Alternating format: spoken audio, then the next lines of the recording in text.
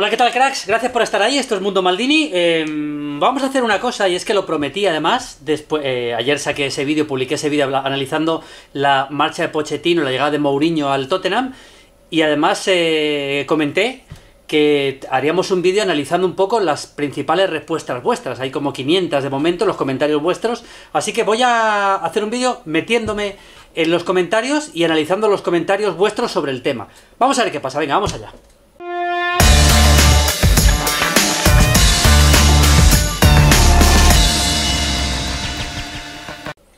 Bueno, vamos allá, aquí tengo el canal, ¿eh? sin más. Eh, por cierto, este es un vídeo que vais a poder ver esta noche, en el que hablo, este que pone aquí mi favorito es Flamengo, porque he hablado con Eddie Flesman desde Lima, en Perú, este está todavía en privado, esta noche hacia las 8 lo saco.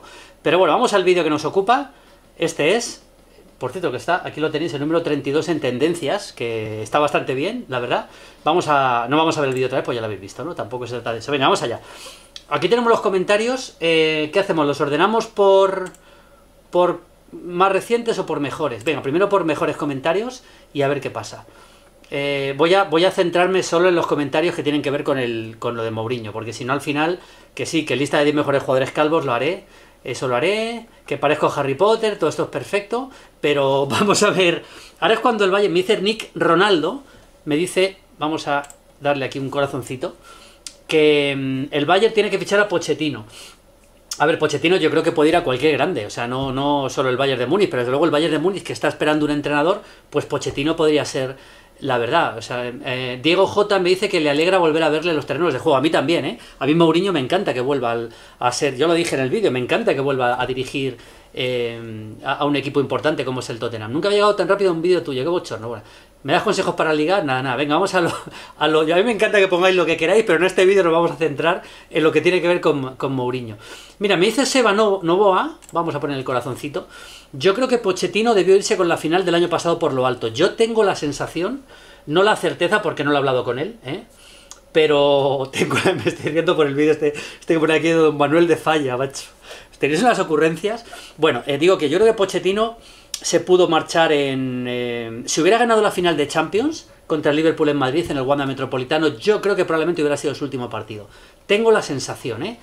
eh he subido el vídeo que ánimo Mihailovic, por cierto, Mihailovic acaba de salir del, del hospital y es una maravilla, ¿eh?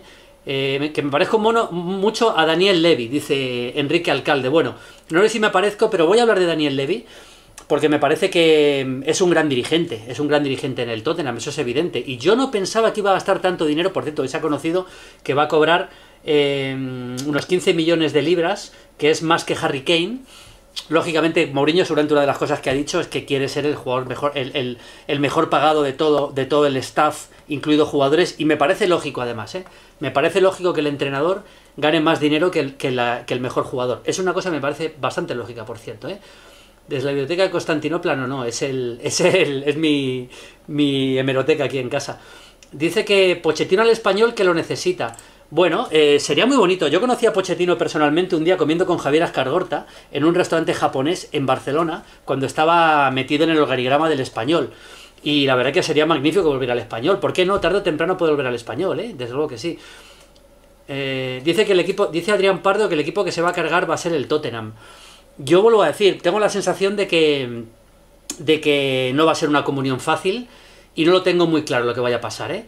Dice Mo, Manu Reyes dice, Mo quería Bale en el Manchester United, ¿no? Por cierto, hay más de 500 comentarios, obviamente no voy a pasar por los 500, no, estaríamos estar aquí todo el día. Os agradezco a todos que lo hayáis mandado, ¿eh? Mo quería Bale en el United. ¿Es el momento de que Bale vuelva al Tottenham? Pues sí, es una posibilidad de que vuelva al Tottenham con Mourinho.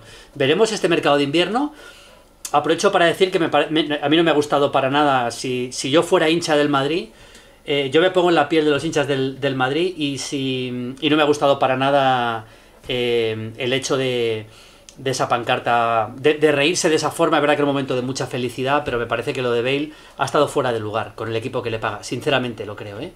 Pero bueno, eh, el Madrid ha decidido pasar página y, y, también creo que hace bien, ¿eh? porque tampoco se trata de de, con, todo el perdón de, la palabra, de meter la mierda en el ventilador. Me parece que eso tampoco el Madrid no debe hacerlo, ¿eh? ni mucho menos. Eh, hago un vídeo de Bale, lo haré, vamos a ver. Mira, Carlos Hotspur, un hincha del Tottenham, dice que como hincha del Tottenham estoy muy feliz por la llegada de Mou. que el equipo debía arriesgar. Bien, yo digo que si yo fuera hincha del Tottenham no estaría tan contento, pero Carlos está contento, pues bueno, pues sí, es perfecto, ¿no? Eh, que si voy a hablar, sí, bueno, voy a hablar mucho de la final de la Libertadores. Aún lo estamos esperando en Madrid, me dice Martín Rodríguez. Bueno, eh, es verdad que Mourinho eh, sonó para el Real Madrid y yo tengo la sensación, estoy convencido de que era una de las grandes apuestas si no hubiera seguido Zidane en su momento. Pero al final, de momento Zidane sigue, así que veremos. Yo creo que tarde o temprano Mourinho va a acabar, perdón, Mourinho creo que también probablemente puede ser, pero Pochettino puede acabar en el Madrid tarde o temprano, ¿eh? Eh, Juan Torres, gracias Juan, veremos cómo funciona en, los en el Tottenham. Yo creo que apostará por Sissoko y en Dombele. Esto es interesante, vamos a ver, conociendo un poco el estilo de Mourinho, de lo que le gusta, de jugadores de, pierna fuerte, de, intensidad, de trabajo, probablemente Sissoko y en Dombele. Seguramente en Dombele es una mezcla, pero en Dombele es otro jugador que puede tener bastante, bastantes opciones de, de, ser titular indiscutible. ¿eh? Eh, el Tottenham gana la Champions esta temporada, ahí queda escrito. Bueno, pues aquí queda escrito y con corazoncito, dice Jordan. ¿Es posible? Mira, también estoy muy de acuerdo con el molesto, ¿eh? eh que dice eh, el molesto, ¿eh? dice que Tottenham llegó de milagro a la final de la Champions. A ver, el, no sé si milagro, pero realmente sí que es verdad que, mm, que el Tottenham llegó muy con lo justo a la final de la Champions. ¿eh? O sea, eh, vamos a ver, tuvo mucha suerte en muchos partidos, en momentos eh, concretos y en momentos muy, muy, muy concretos. A mí me da la sensación, lo he comentado muchas veces, que fue casi un auténtico milagro. ¿eh? Un auténtico milagro. Vamos a ver alguno más. Esperemos que no tenga, dice José Marrubio, el mismo estilo que con el Manchester United, Mourinho. Yo creo, insisto, creo que va a cambiar un poco la forma de de entender el juego en el Manchester United y creo que en el, en el Tottenham y creo que se va a adaptar un poquito los jugadores que tiene, dando prioridad al talento de Harry Wings, al talento de Dele Alli, creo que son jugadores, al talento de Eriksen, eh, creo que son jugadores eh, que, tiene que, tiene que utilizar. El Tottenham mejorará, me dice Jeffery Monkey, porque empeorar es difícil. Pues también es verdad que lo que, como ha empezado la, la temporada, empeorar es difícil. La verdad que es difícil, sí. Entonces mejorar va a mejorar. Yo creo que, yo no, a ver, el hecho de que no lo vea muy claro no quiere decir que no vaya a mejorar, lo dije en el vídeo. Creo que va a mejorar, realmente, ¿no? Eh, estoy bastante de acuerdo con AAATC, aquí lo tenéis, que dice que el Tottenham estuvo en la final de Champions por pura suerte. A ver, eh, no exactamente pura suerte, pero hubo momentos muy concretos de los partidos que eh, todo giró a su favor. el, el, gol que le anulan al Manchester City, que lo hubiera eliminado, en una jugada muy, muy, muy dudosa el, eh, el gol en el último instante que mete en la final en Ámsterdam. Yo creo que el City fue mejor y creo que el Ajax fue mejor que el Tottenham en las dos eliminatorias. Lo creo, ¿eh? Em, eh, no siempre gana el mejor en fútbol, lo he comentado mil veces, ¿eh? Dice que la verdad prefería que se hubiera ido al Arsenal José Antonio Zapata. Hombre, yo creo que el trabajo de Emery en el Arsenal no está siendo mal, ¿eh? Mira, Arius LOL Dice, Mourinho ha perdido la hora de gran entrenador, ya no intimida ni impone como antaño, su mejor época ya pasó. Estoy bastante de acuerdo eh, con Arius. Estoy bastante de acuerdo que la mejor época de Mourinho ya pasó. De verdad, ¿eh? Respeta a Mourinho, dice, yo por supuesto, ¿cómo le voy a respetar a Mourinho? O sea, a un entrenador como Mourinho, que ha dirigido en varios de los grandes equipos del mundo, que ha ganado la Champions, con el Oporto, con el Inter, ¿cómo no le voy a respetar? Por supuesto que le respeto profundamente. Lo que sí creo es que su mejor etapa como entrenador, no estoy diciendo que sea mal entrenador, ni mucho menos, pero que su mejor etapa probablemente ya haya pasado. A lo mejor me equivoco, ¿eh? Bueno, pues eso lo, dirá el tiempo, ¿eh? Se viene salseo, me dice Antonio Cross, que no creo que sea Tony Cross, pero bueno, se viene salseo. Bueno, sí, lógicamente Mourinho va a dar mucho juego, eso es, eso es evidente, ¿no? Em, aquí alguno, algún término un poquito despectivo a Mourinho, que tampoco creo que se trate de, de, tal. Eh, los equipos ingleses no aprenden con Mou, son masocas, dice Men, Menjatayarinas. Eh, bueno, eh, a ver, yo creo que el Tottenham necesitaba un golpe de efecto importante y lo ha hecho, ¿no? Vamos a ver esto, mira este, Ian Valero. Yo pienso que el Tottenham es un Inter de Milán y Mourinho lo hizo bien allí. No sé muy bien a qué te refieres. Eh, sí, te refieres a un equipo que es llamémoslo así, entre comillas, una especie de segundón en su país, porque el Inter ahora mismo está por detrás de la Juve y lógicamente el Tottenham está por detrás del Manchester City del Liverpool y vamos a ver si es capaz de levantarle, pues es posible, ¿eh? Es posible. Em, em, vamos a ver, mira, Fernando Pizarro me hizo una cosa interesante, que es que yo comenté ayer, es verdad que, hablando un poco de que, de que no es verdad que los ingleses tengan mucha paciencia con sus entrenadores, que Ferguson y que Wenger han sido un poco dos, dos ejemplos de técnicos que han durado tantos años que, digamos, ocultan la auténtica realidad, ¿no? O sea, realmente Ferguson y Wenger han sido la excepción, no han sido la norma. Me parece que estoy muy de acuerdo con Fernando Pizarro, ¿no? Eh, Pochettino es un grande, pero a veces es normal un cambio. Yo, mi novia se enfada, me quitas tiempo. no te enfades, hombre, la novia de... A ver, que no, solo cosas del Tottenham, venga, va. ¿Se me ha afectado? No, no se me ha afectado, la verdad. Dice que, el Tottenham eh, eh, con Mou se convierte en un equipo increíble capaz de todo. Yo no creo que sea capaz de todo, pero, pero bueno, pero bueno, es, vamos a pasar un poco rápido aquí ya también. Eh, insisto que hay más de 500, así que de verdad, notición, dice José Candal, que un grande del fútbol vuelva a los banquillos, le echábamos de menos. Sí, para mí es una notición que vuelva, para mí es una notición que vuelva, vamos. Eh, Bale con Mou y Pochettino al Madrid en unos meses. El plan de Florentino coge forma. Yo vuelvo a decir, eh, yo creo que, que Pochettino puede acabar entrenando el Real Madrid. Mm, me parece que ahora que ya no está en el Tottenham sería la primera opción, ¿eh? Sería la primera opción. Y ya que además Mourinho ya tiene equipo, para mí sería la primera opción. Mira, uno que no le gusta, ¿qué van a Análisis intolerablemente superficial. Pues venga, vamos a darle un corazoncito también. Que se lo ha merecido por darme un palito. Sí, señor. A ver, eh, eh, vamos a ver. Eh, vamos a ver. Dep Tottenham, tampoco lo creo. Mourinho es una bomba de relojería. Siempre sale con polémica allá por donde vaya, pero creo que estamos todos en la expectativa. Es una bomba de relojería, es evidente. Se me ve el plumero. Esto es una, una frase muy típica. Lo que más mal me jode es que te digan que yo no soy ni de uno ni de otro.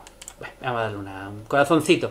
Vamos allá. Eh, Pochettino en el Everton un equipo con ganas de crecer. Pues mira, el, Everton sería un equipo interesante para Pochettino. Lo que pasa es que sería bajar un poco, digamos, el nivel en cuanto a lo que él ha conseguido, ¿no? Pero sería interesante ver a Pochettino en el, en el Everton. Oye, dentro de poco os voy a poner alguna imagen del Tottenham histórica, ¿eh? porque queréis que os ponga algo, porque el otro día que yo comenté que el Tottenham es un histórico. Vamos a hacer una cosa, hombre. Vamos al, archivo.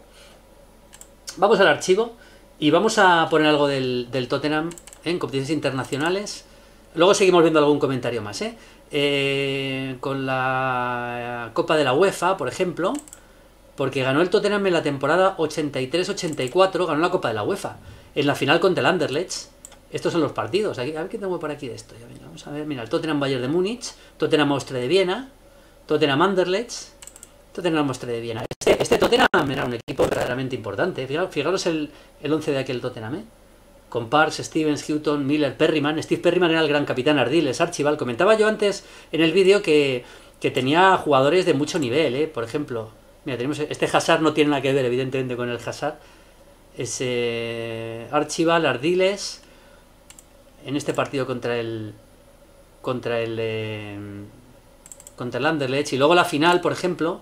La final. Este es un Tottenham Bayern de Múnich. Mira, es también de esta. De esta. De esta. De esta mm, Copa de la UEFA. Mira, Glenn Hodel, otro jugador, este es Steve Archibald. Y luego la final, vamos a probar que se escuche un poquito, ¿no? La final es Tottenham Anderlecht. Este, este, es, este, este es absolutamente mítico, este, este partido. Mira, Jackie Munaron, creo que es este. Ese era en el danés. Del Anderlecht, digo, ¿eh?